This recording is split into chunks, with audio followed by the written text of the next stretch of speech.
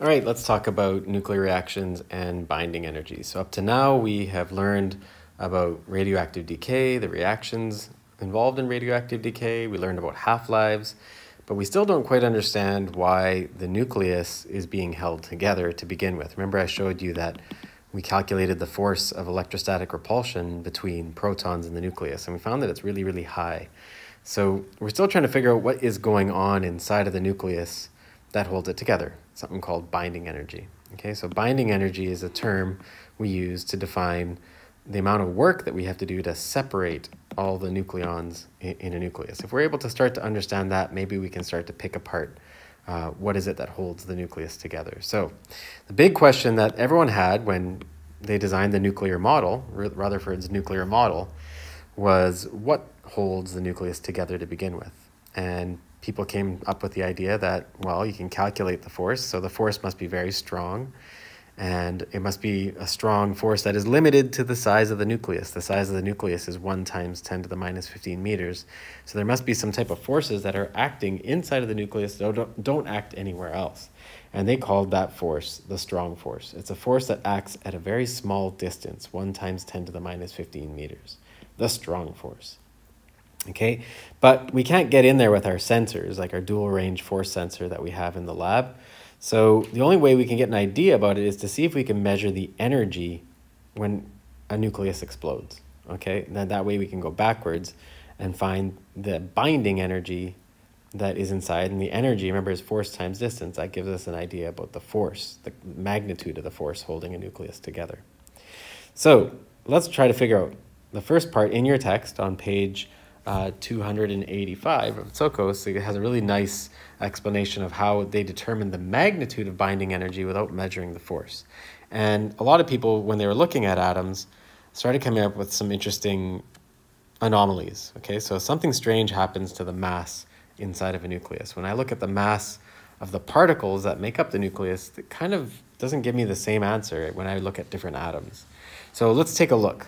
Okay, the thought experiment. Let's calculate the mass of each individual nucleon in a nucleus. Okay, and in your textbook and in your data booklet, you'll see, whoops, you'll see a unit called atomic mass unit. Okay, U. And it, says beside it, uh, one atomic mass unit is 1.66 times 10 to the negative 27 kilograms. What that is supposed to represent is that is the mass of a nucleon in a nucleus. So that's the mass of a single nucleon, a proton or a neutron, in a nucleus. Okay, that was our original idea. And where that came from was the fact that everything on the periodic table is related to carbon 12. So all the atomic mass numbers, all these atomic mass units, are related are a ratio of the mass of carbon 12.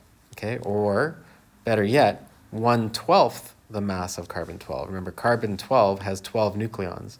So if I just divide the mass of a carbon 12 atom by 12, I should get that.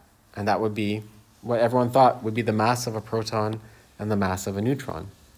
And so theoretically, 1 12th is the mass of a proton and a neutron. So let's go through that calculation. Where did they get this number?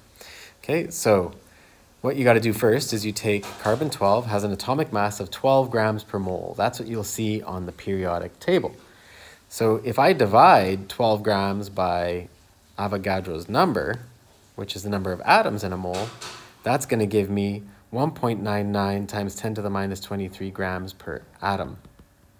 Okay, so if you take 12 grams divided by that number, gives you, that's the mass of a single atom.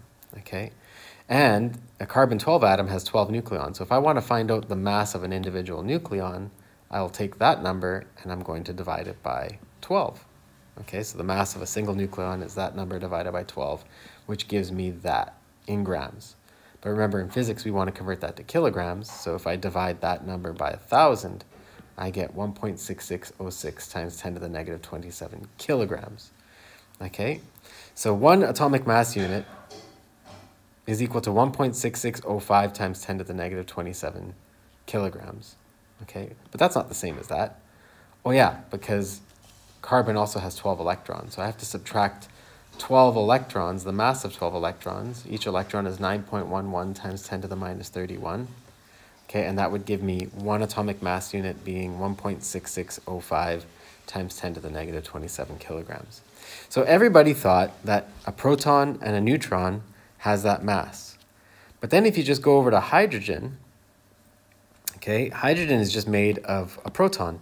So theoretically, if I did the same thing with hydrogen, and I found out what the mass of the proton and hydrogen would be, so here I go 1.01 grams per mole divided by Avogadro's number gives me that. Okay, and then if I divide that by a 1,000, and then I subtract the mass of an electron, I get this number. So if I look at hydrogen, hydrogen says that the mass of a nucleon or the mass of a proton is 1.67627 times 10 to the negative 27 kilograms. But our calculation with carbon said it's 1.6605 times 10 to the negative 27. Something's weird. How did it change? Okay, so the mass of a proton is that, but the mass of a nucleon is that. That got people thinking. Where did that extra little bit of mass go? Okay, so something doesn't add up. Okay, there's a mass difference between unbound and bound nucleons. That's what they said. Okay, as soon as you start binding them together, you lose you lose some mass, and they called that term the mass defect. Okay, so the mass that you lose when nucleons bind together is called the mass defect. Okay, so later on, with a lot of experiments, they were able to find that the mass of a proton, okay, and they were all actually also able to determine the mass of free neutrons. Okay, you can find this inside of your data booklet. Usually it's relative to U, like the mass of a neutron is like 1.008 U or something like that. Okay, so you can take a look inside. But so it's just a little bit larger. Both of them are a little bit larger. The mass of a proton is like 1.007 or 1.006 U. They're a little bit larger than the mass of the bound atomic mass unit, the bound nucleon. So the fact that they're larger is strange. When you put them into the nucleus and bind them together, they lose mass, and that's called the mass defect. Okay, so with that mass defect got everyone questioning except for this guy, Einstein. And Einstein came up with uh, an explanation for the mass defect, and he said that that mass is being sacrificed. Okay, that difference in mass when it binds in a nucleus is being sacrificed. That mass defect is being sacrificed and being turned into binding energy, which is really weird. How can matter become energy? It doesn't make any sense, right? But according to Einstein and his theory of relativity, matter can interconvert between energy and matter. So that's kind of cool. So matter is being sacrificed. If I find the total mass in kilograms that has been sacrificed and I multiply it by the speed of light squared, that should give me the binding energy of the nucleus, which is going to be what we're going to be talking about in the next video. Okay, we're going to use this formula to calculate the binding energy of different nuclei and try to explain why a radioactive isotope like uranium falls apart, whereas iron doesn't. We're going to be looking at the binding energy available in that nucleus.